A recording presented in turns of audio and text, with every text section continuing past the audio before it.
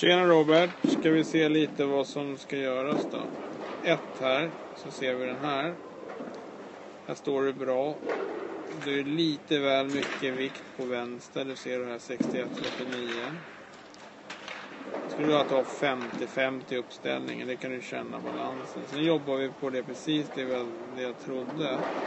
Ser vi här då att det blir lite väl mycket vänster. 61-39 började vi på.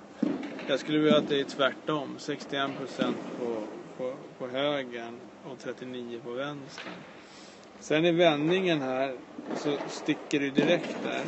Ser du att där, pang, 83-17 och 100% på tå. Här ska vi få den squatten ner.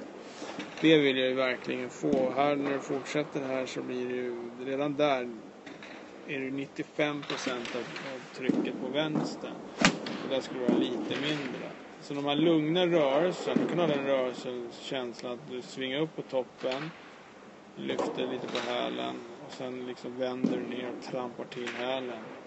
Det andra jag tycker du ska göra också, det är ju verkligen att köra de här lugna drillarna, drillarna, känna trycket ner precis som du gör. Det, det var, det, den och det vi gjorde där var...